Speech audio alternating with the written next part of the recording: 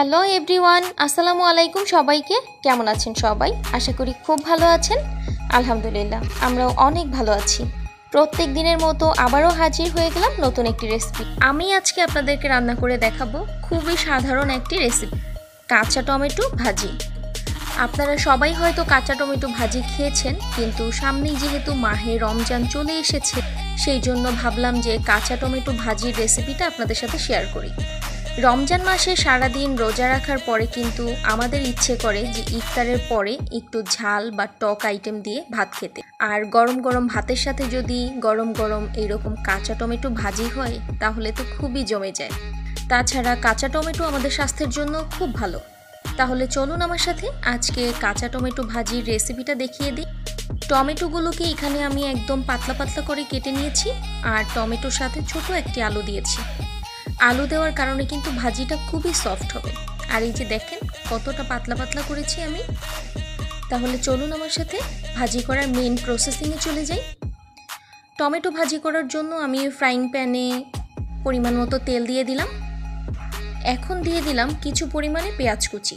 আমি কিন্তু যে কোনো তরকারি হোক বা ভাজি হোক, কোনো কিছুতেই পেঁয়াজ একদম বেশি কুচি কুচি করি না। আমার কাছে তরকারি বা ভাজিতে পেঁয়াজগুলো দেখা গেলে খুব ভালো লাগে। পেঁয়াজগুলো অনেকটাই হয়ে এসেছে। পেঁয়াজগুলো আমি বেশি পোড়া পোড়া করব না। এই পর্যায়ে আমি দিয়ে দিব লবণ। এক চামচের মতো লবণ দিয়ে দিলাম। এখন দিয়ে দিলাম সামান্য পরিমাণে হলুদ গুঁড়া। হলুদ গুঁড়া আমি অনেক বেশি পরিমাণে দিব না। এখন ভালো করে নেড়েচেড়ে মিশিয়ে নিচ্ছি। এখন আমি দিয়ে দিব কেটে রাখা টমেটোগুলো।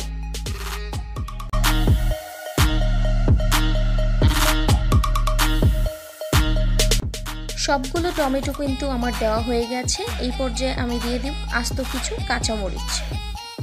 আমি প্রায় পাঁচ মিনিট পরে ফিরে এলাম। এই যে দেখেন, ভাজিটা কত সুন্দর হয়েছে।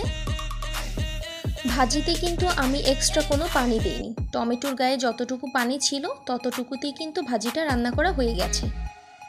ভাজিটাকে আমি আরও কিছুক্ষণ রান্না করব, সেই জন্য ঢাকনা দিয়ে আরও পাঁচ মিনিটের মতো রেখে দিব। আমি পাঁচ মিনিট পরে ফিরে আসলাম। এখন ডাকনা উঠিয়ে দেখি ভাজিটার কি অবস্থা। এই যে, ভাজিটা কিন্তু একদম সফট হয়ে গেছে। এই কাঁচা টমেটো ভাজিটা কিন্তু একদম বেশি ভাজা ভাজা করলে একদমই স্বাদ লাগে না। এইরকম অবস্থায় কিন্তু এই কাঁচা টমেটো ভাজিটা খুব বেশি মজা লাগে। এখন আমি দিয়ে দেব কিছু পরিমাণ ধনে পাতা কুচি। কখনো কখনো কিন্তু মাছ মাংসের স্বাদকেও হার মানায় এই কাঁচা টমেটো ভাজি। অনেক সময় দেখা যায় যে আমরা মাছ, মাংস দিয়ে যতটুকু ভাত খেতে পারি, তার চেয়েও বেশি ভাত খেতে পারি কিন্তু ভর্তা আর ভাজি দিয়ে। ভাজিটা রান্না করা কিন্তু আমার একদম পুরোপুরি কমপ্লিট আমি এখন আপনাদেরকে বেড়ে দেখাচ্ছি ভাজিটা কত সফট আর সুন্দর হয়েছে। এই যে, আজকের মতো তৈরি করে ফেললাম খুবই ঝটপটভাবে কাঁচা টমেটো ভাজি। অনেক সময় কিন্তু সাধারণ রান্নাও অসাধারণ স্বাদ হয়। তাহলে ঠিক আছে। আজকে এই পর্যন্তই। সবাই ভালো থাকবেন, সুস্থ থাকবেন, আর আমাদের জন্য অবশ্যই বেশি বেশি করে দোয়া করবেন। আর আমার ভিডিওগুলো যদি ভালো লাগে, তাহলে অবশ্যই লাইক দিবেন, কমেন্ট করে আপনাদের মতামত আমাকে জানাবেন।